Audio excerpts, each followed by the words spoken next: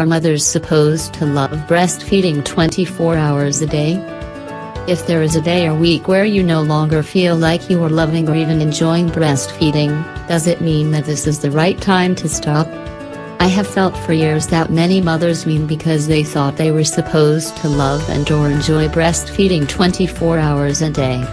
Some of the mothers I have admired the most are mothers that breastfed in spite of not being in love with the act of breastfeeding. They breastfed because they knew it was the right choice for their babies.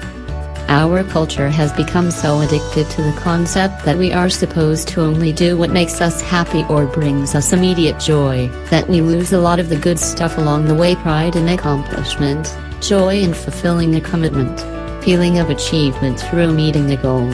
I don't think this means people are more selfish today than they were in the past. I just think they have been taught to have different expectations about what they are supposed to feel and how they should respond to those feelings. Breastfeeding is the ultimate gift a woman gives her baby because she chooses every day whether to continue or to stop.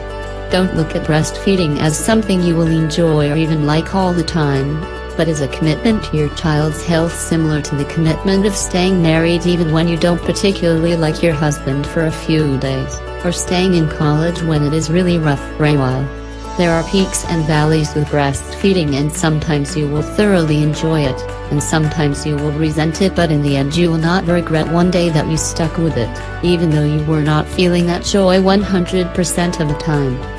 When you are in a valley, rest assured that the joy you have felt with feeding in the past will reappear and you will be glad you waited it out. Thank you for watching.